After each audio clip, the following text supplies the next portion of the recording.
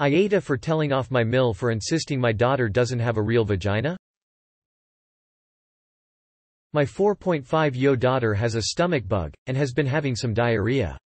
My wife needed to take our son to an APPTNDI needed to WFH today so my mill came to watch after our daughter.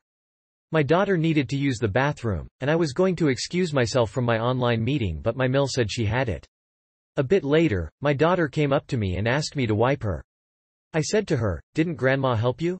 She knows how to wipe, but with her having diarrhea we're helping her. She said yes, but grandma wiped wrong. She said grandma wiped in instead of out. We've taught her to wipe out instead of in. I excused myself from my meeting to help wipe my daughter correctly. I went to find my mill in the kitchen.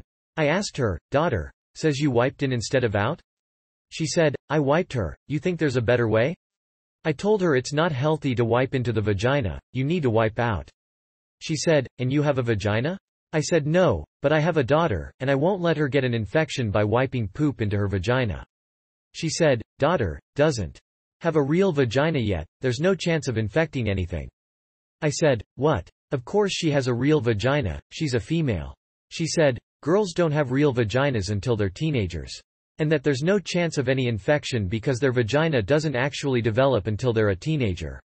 I was dumbfounded. And I got angry. I said to her, you're a woman, you raised three daughters, I'm married to one. You can't possibly be this stupid?